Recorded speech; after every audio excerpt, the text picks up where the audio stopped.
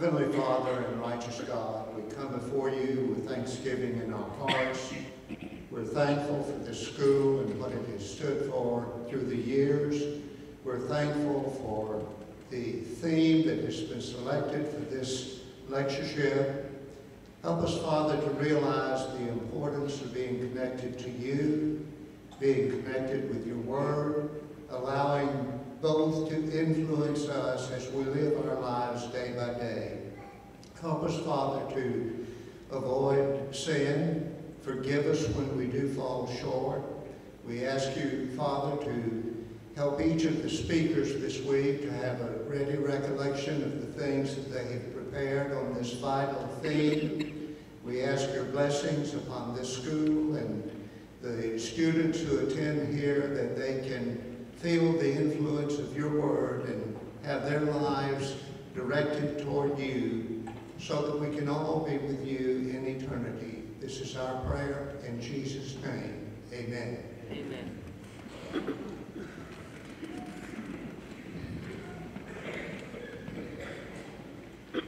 Good evening, everyone. Good evening. Thank you.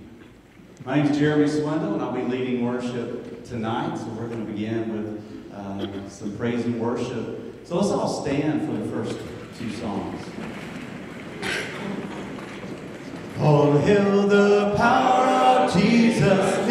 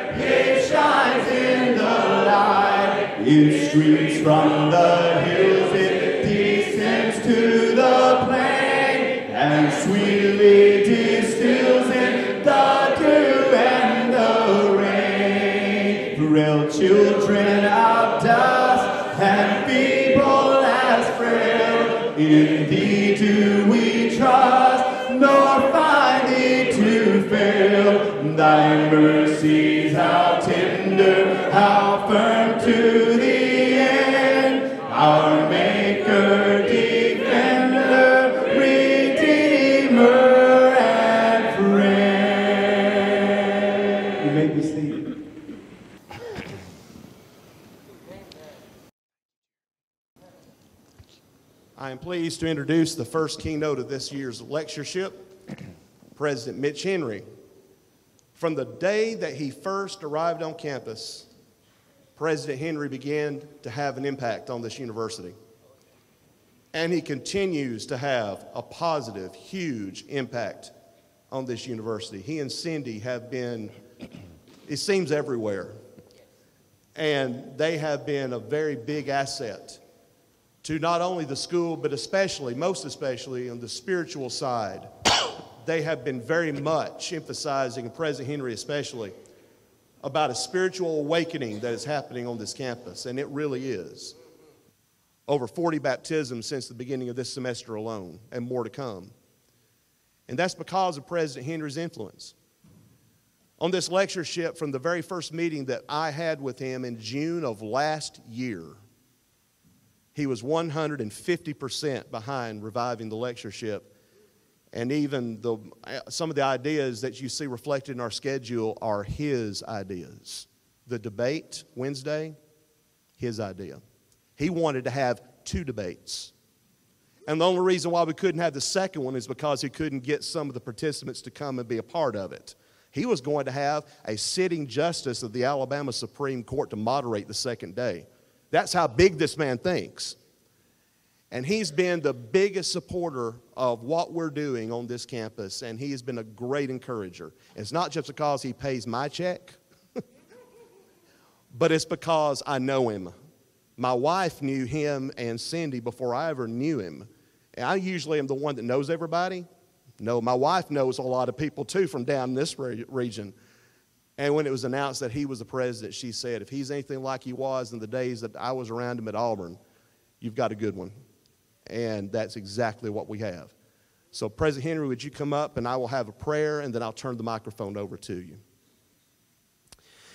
Dear Lord, we're thankful for this week. We're thankful for this lectureship, and we're thankful especially for President Henry, the leadership that he has shown and continues to show to us.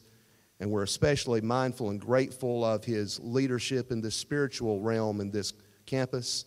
We pray that it will continue and grow stronger. Bless him as he speaks to us this evening. In Christ's name we pray. Amen. Thank you. I've got it. Oh, thank you.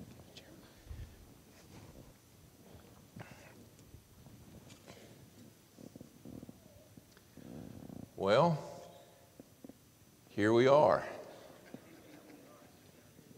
I feel like I'm among family and friends because I am. I think I'm kin to somebody in every single church that's represented here tonight. It's what happens when your family lives in this part of the world for 100 years, literally. It's 103 years this year.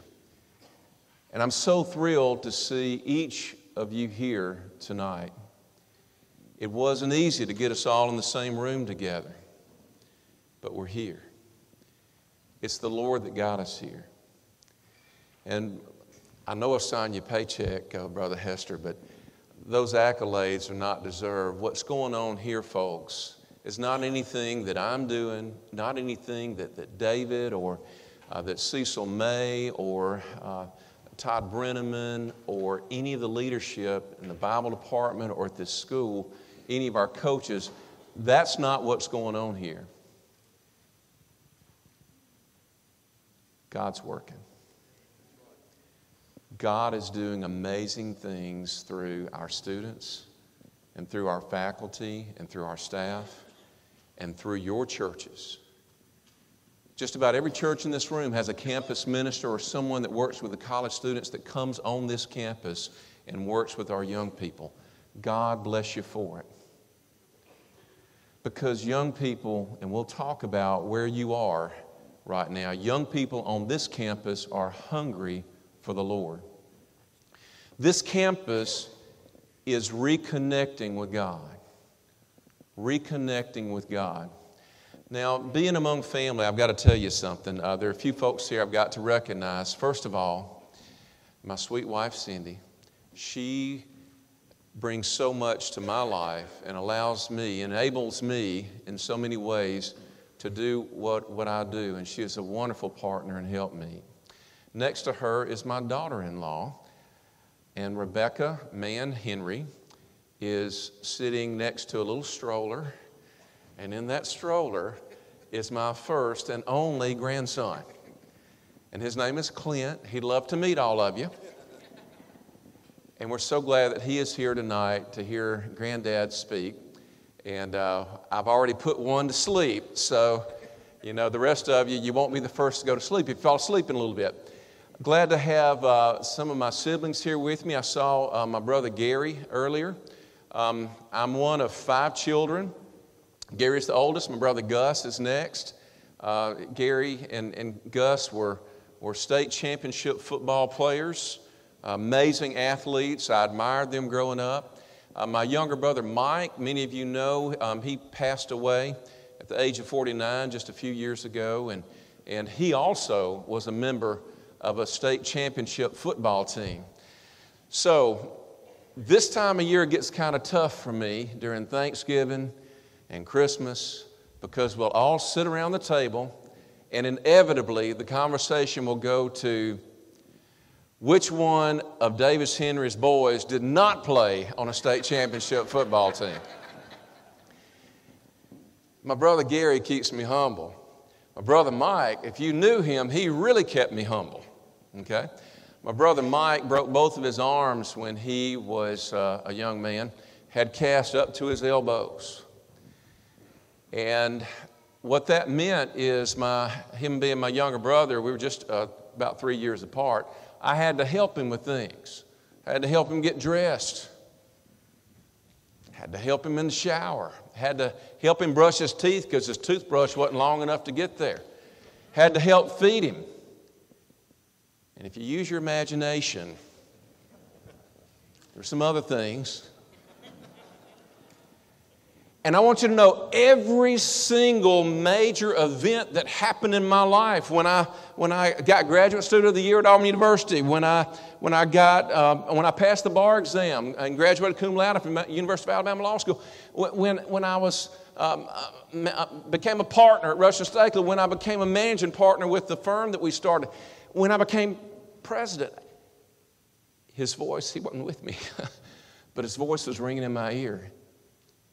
On every single occasion, Mike would say to me, Mitch, I'm proud of you, but no matter how far you go, you'll always be that guy who. Y'all fill in the blank.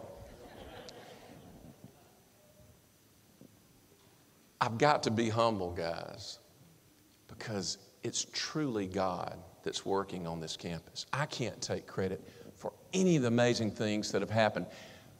This campus is reconnecting with God because God is powerful.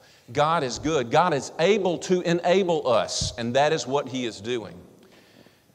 We're having an awakening on this campus. It's happening on campuses across this country.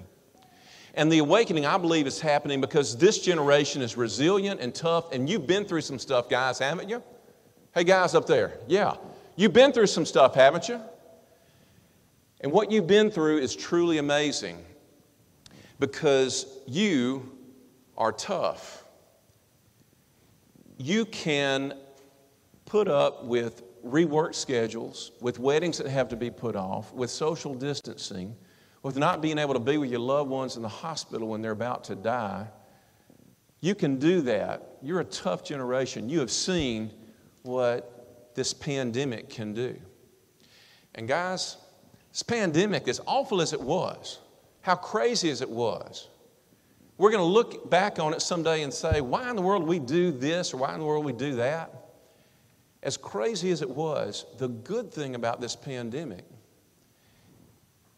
is it's got people thinking about their mortality. We saw the death numbers every night, didn't we, on TV? We had people that we loved who passed away, didn't we? This room would be a little bit fuller but for the pandemic. And that sober realization that life is short, it does something to us as human beings. One of our students, Yuri, on our soccer team, went down to Lakeland, Florida, was practicing, uh, playing with the league down there, went home for lunch, and a car comes off the highway through his front living room and kills him. You ask any member of our soccer team, they'll tell you life can be unexpected. And because of that, there is a consideration for a very important question. And here it is Is there life after death? And when you think about the answer to that question, folks, you know, You know deep in your heart that there is life after death. And the question is, is this what is that life going to be like? Will it be eternal bliss or will it be eternal heat? Will it be a time forever in glory with God and His angels? Or will it be a time hanging out with the devil? What will it be? The nice thing about this pandemic, folks, is that this pandemic has got us thinking about spiritual things. I started off with a prayer for wisdom back in May of 2022. That changed to a prayer that we're going to study about tonight, which is God enable us at this university to boldly proclaim your word to our people. And then the third prayer was God send us laborers. And God has done that. He's done that we ha- are reconnecting with the vision and mission of this university. I've got to, to give credit where credit's due. Dr. Billy Hilyer, Dr. Baker, uh, Cecil May, and others who, who were here before me came up with uh, the, the board of, of directors. I think Joe Mc, Mc, McDonald, where are you, Joe? You were instrumental in helping come up with this vision and mission statement for the university, and here it is. The mission of Faulkner University is to glorify God through the education of the whole person, emphasizing integrity of character in a caring Christian environment. Listen to this where every individual matters every day. And I see that being lived out on this campus more than I've ever seen it lived out in its history. And these young people are a reflection of that. When you do that, when God enables you to share the gospel, when good, godly men and women come to this university and boldly proclaim to students who are searching at the most important spiritual development time in their life for God, whether they realize it or not, when those good, godly men and women boldly share the gospel, amazing things happen. Raise your hand if you worship at University Church. Where are my university folks? Here we go. We got a bunch of you. That's great. We are wearing your baptistry out, aren't we? Thank you for letting us come and be a part of your church ministry there. And thank you for sending your students. Thank you for sending your faculty that worship with you there across to us. Thank you for sending your campus ministers on our campus. And thank you for letting us use your pool of water. It's a blessing. These men of God now that you see on this screen, many of them are here up in, in the rafters and some down low. I hope you get a chance to meet them because they're young in the faith, but they're strong in their commitment and desire to serve God. And we're so pleased about it. Now, one little correction, um, Brother Hester. You said 40. Folks, we're up to 50. We're up to 50. One was baptized last weekend, and we had a football player baptized after practice and did not want to wait a second longer than necessary and go over to University Church. So the coaches got the, the other players out of the ice pool. And he was baptized into Christ in the ice pool. You think he's going to remember his baptism? Yes. I'm telling you, folks, people are working and God is working through people. It's truly amazing. More than 50 students have been baptized so far. There are Bible studies going on every day, aren't they, Colt Mahana? Where's Colt? Right here in the corner, our new campus minister. He looks like Duck Dynasty. Don't let that fool you. He's an amazing, godly man. He has just brought on interns who are Bible students that are receiving the Jack Zorn Scholarship.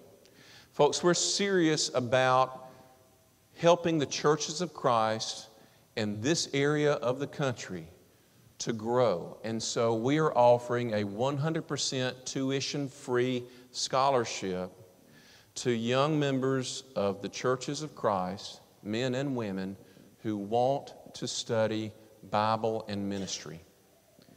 We're, we're recruiting 15 for this next year. If you know a, a college or a high school senior that's interested in that, please let Mike Horn, where's Mike Horn? There he is, right up front. Let Mike Horn, our dedicated Bible recruiter, know about that, or Matt O'Gean, or Mark Hunt, or any of our folks in enrollment. We're serious about building ministers in our churches. That's what this school was started and founded upon. And God will judge us if we don't follow that mission. And we are so excited about what we're able to do there. And we've got a number of folks who are Bible majors here with us tonight. If you're a Bible major, raise your hand. There's our Bible majors. Yes, you meet these young people tonight, okay? They're great, godly young folks, and I'm so proud of them. So, reconnecting. Reconnecting is fun.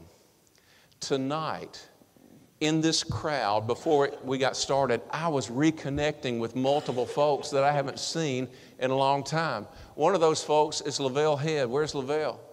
There he is, right there. Love Lavelle Head. We were neighbors. We kind of grew up together. Our children grew up together. And uh, he told me that his son, Justice, might be thinking possibly about our executive schedule law school degree, ABA approved, go four years, work while you get your law degree, mostly online, but every other weekend in the fall and the spring. Charles Campbell, Dean Campbell, did I do okay? We got it right. Okay. I'm so excited about that, Lavelle. About, now, Justice Head, I want y'all to think about that a little bit. A lawyer whose name is Justice Head.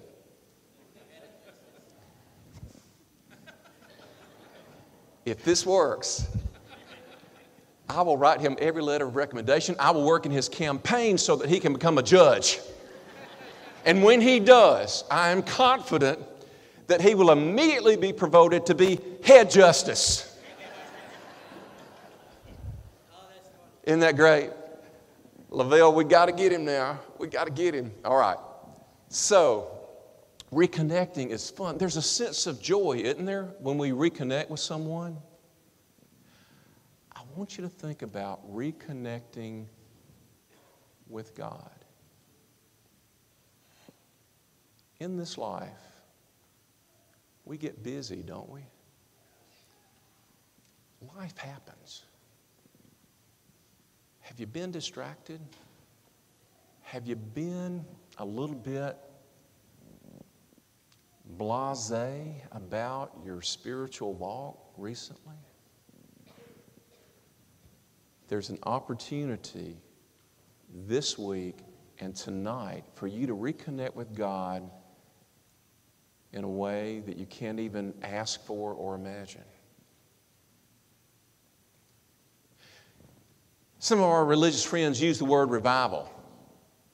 I like the word awakening better, but I understand and I get it when you think about revival. Right now, I want you to think about that moment in your life. Everyone, think about yourself. Don't think about your spouse or your friend or anybody else. I want you to think about that moment in your life. When was it? When you felt closest to God Almighty. When you felt the joy of the Lord at its highest point in your life. When was that? Take a moment.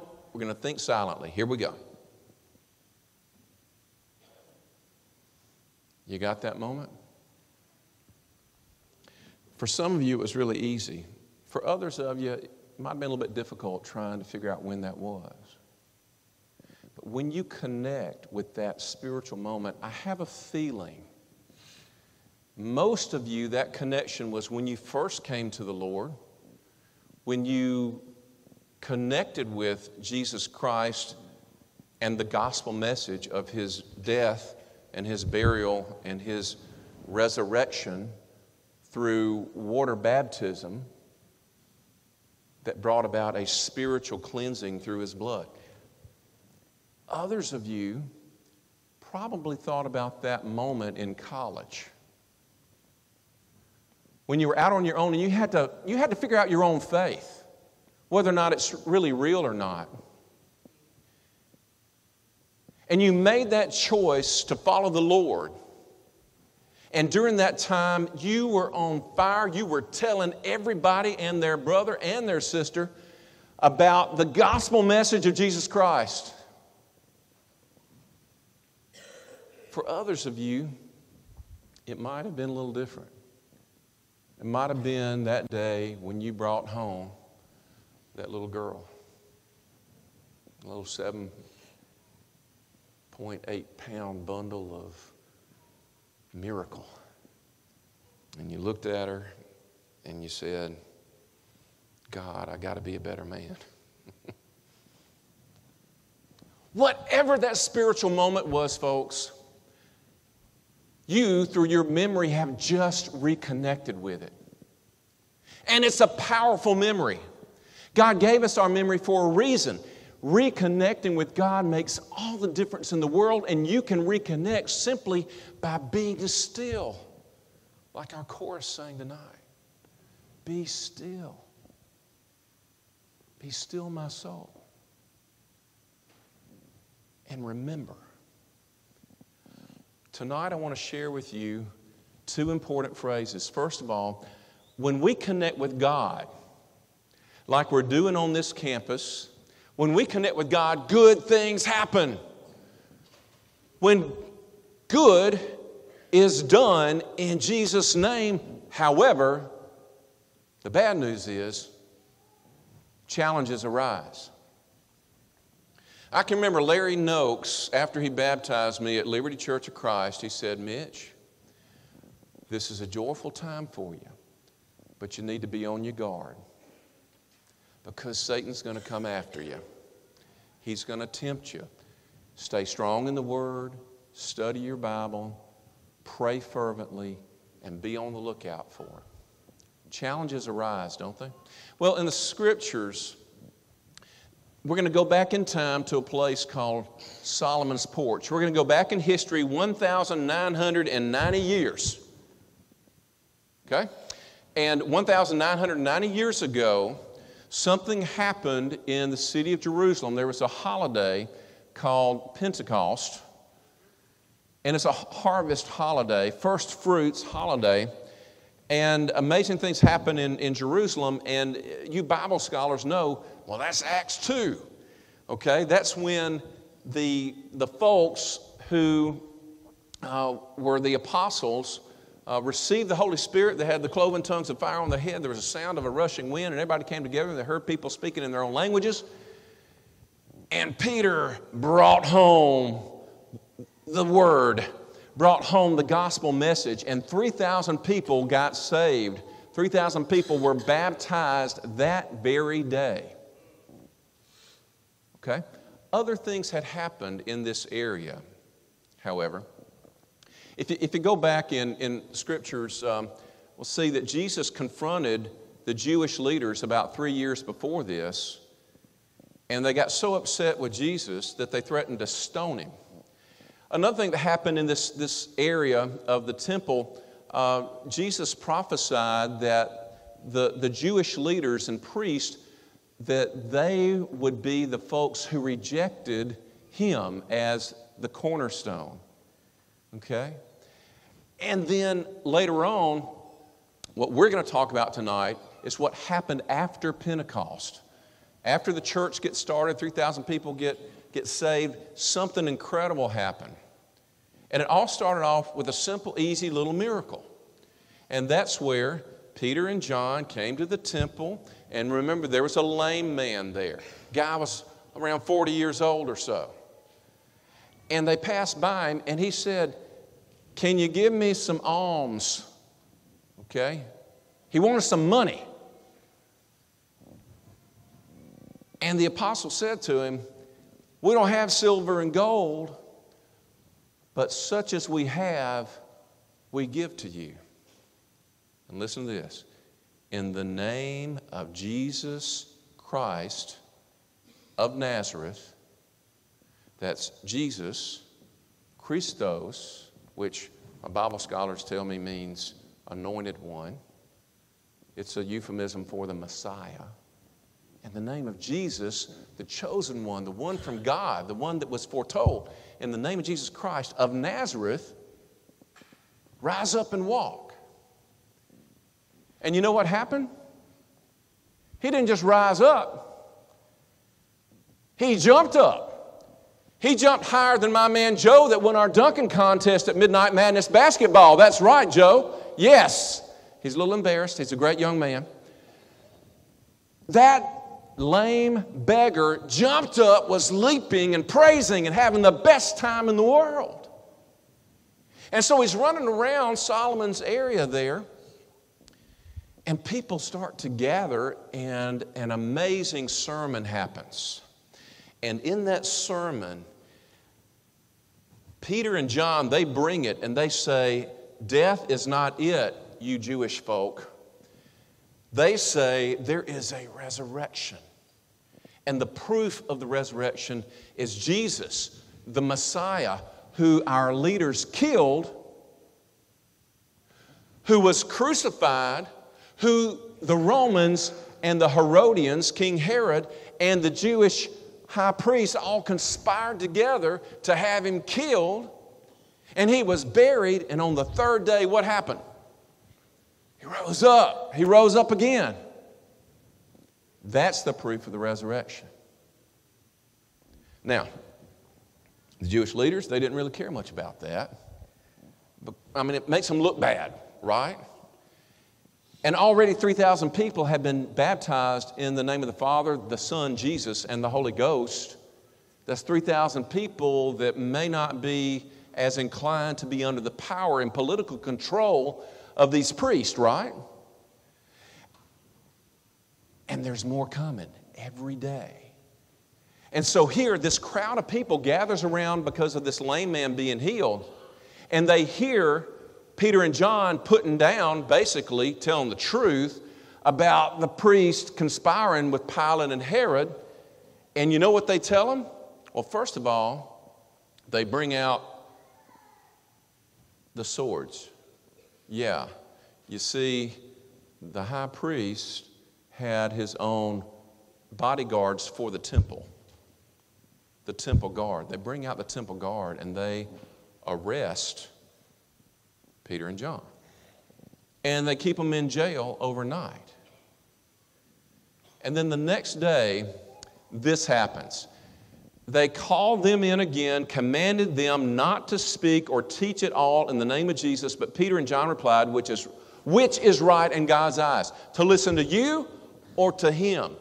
You be the judges. As for us, listen to this we cannot help speaking about what we have seen and heard. After further threats, you see that? Further threats, they let them go. They could not decide how to punish them, however, because all the people were praising God for what had happened to that beggar who's jumping and leaping higher than Joe. Guys, challenges happen. So they let him go, but they threatened to hurt him. Now, if you know much about the book of Acts, guess what happens? They get hurt. They get hurt bad. And eventually, one of their followers, Stephen, gets beat with stones until he dies. And a great persecution happens against Christians. I want you to see how these folks reacted. Because right here, if you want to reconnect with God, and if you want God to work in your life, and if you want to see this church grow, you want to see this campus reflect God's glory, then what you need to do is to figure out how God's people meet the challenges that come when a spiritual awakening happens. How do you meet these challenges, these threats? These people who don't like what you're doing, these people who want to be critics but not be in the mix. What do you do? How did the apostles react to this? Here we go. First of all, believers pray about the challenge. In the very next verse in Acts chapter 4, on their release, Peter and John went back to their own people and reported all that the chief priests and the elders had said to them. When they heard this, they raised their voices together in prayer to God. Sovereign Lord, they said, You made the heavens and the earth and the sea and everything in them. That's an awesome way to start a prayer.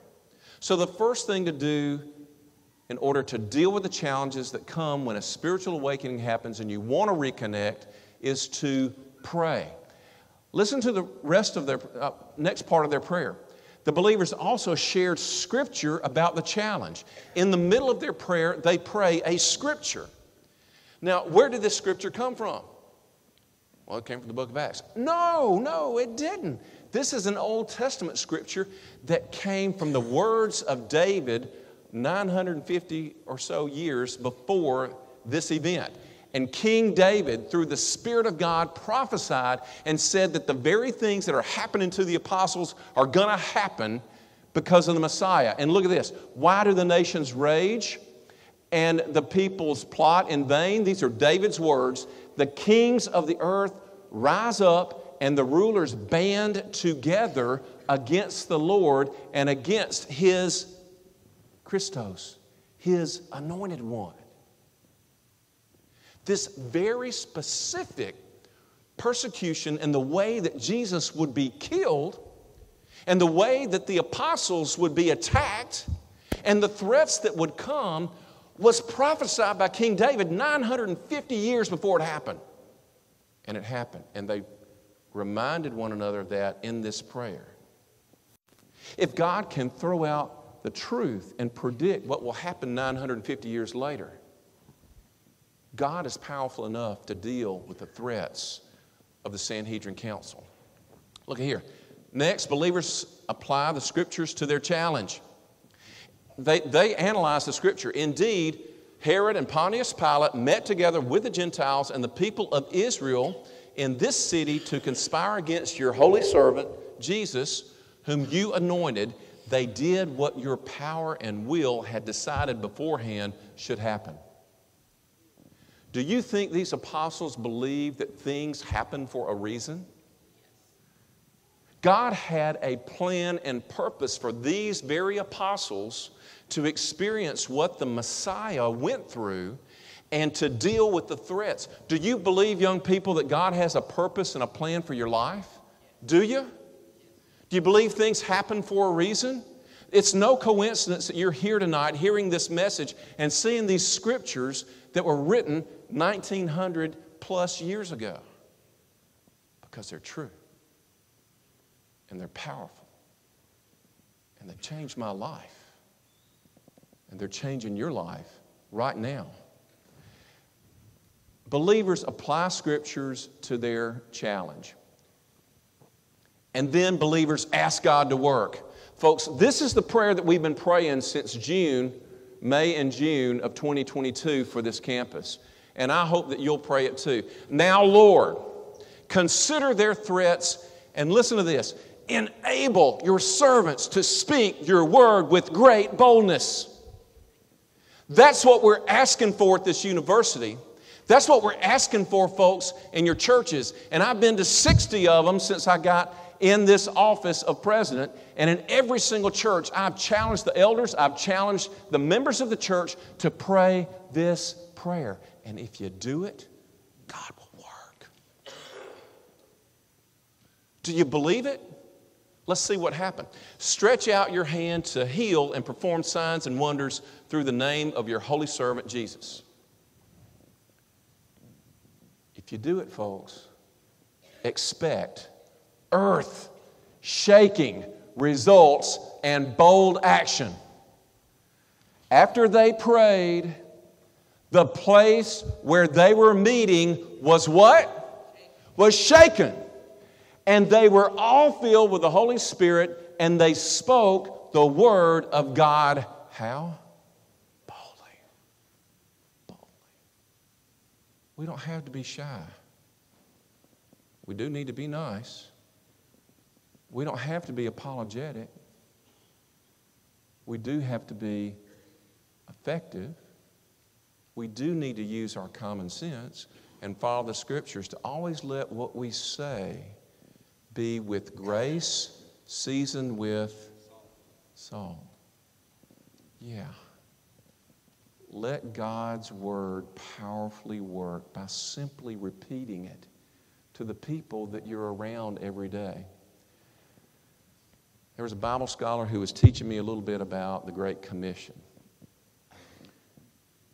And he, he said, that phrase there, go into all the world, he told me what it really means is as you go into all the world, preach the gospel. Your opportunity to be bold is right where you are at the moment. So, to sum it all up, folks, last slide believers reconnect with God. They deal with the challenges of life by doing these things. Number one, we pray. Number two, we share Scripture. Number three, we apply that Scripture. Number four, we ask God to work. Number five, we expect earth shaking results. And we finally take bold action.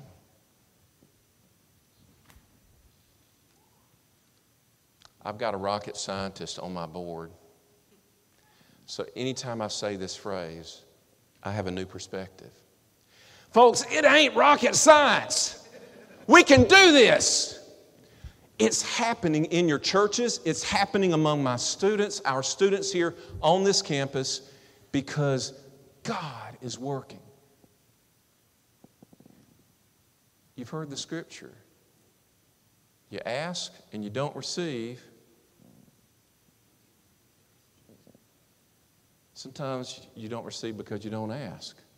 Sometimes you ask because you want to consume it on your own lust. If we ask unselfishly for God to enable us to boldly proclaim His gospel, God will work. Do you believe it?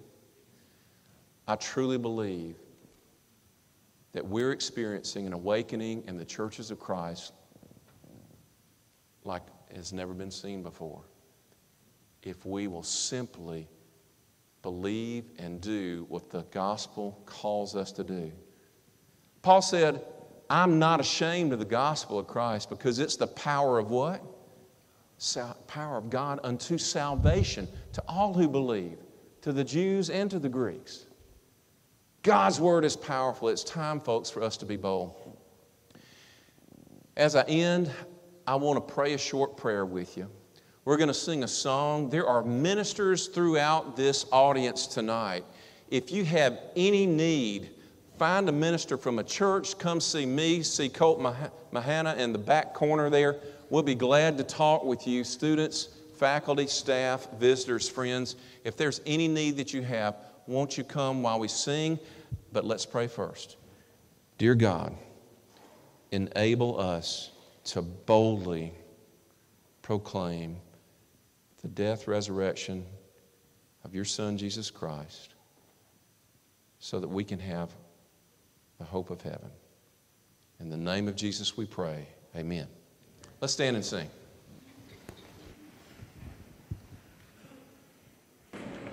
When peace